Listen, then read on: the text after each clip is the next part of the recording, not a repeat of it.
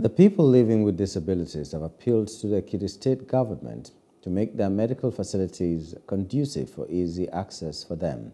Speaking at the two days of strategic training of journalists and community health care workers in Ekiti State, Kolawole Joyeba said many health workers have no knowledge on how to attend to people with disabilities in their facilities.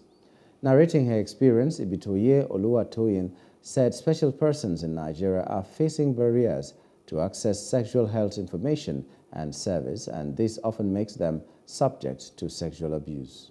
When a, a women without disability face the problem once, it is actually twice for women with disability because already we are women, we are women, women, and secondly we are disabled. So you see how how double the problem is, how yes the load is. Again, we see that on health on health matter, it's actually not easy at all.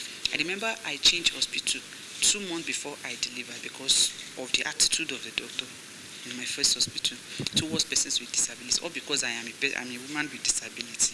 So I had to change the hospital to other hospital where I deliver safely.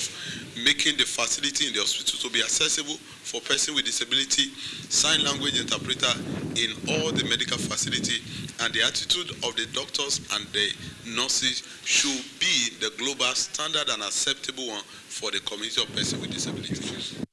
Hello, hope you enjoyed the news. Please do subscribe to our YouTube channel and don't forget to hit the notification button so you get notified about fresh news updates.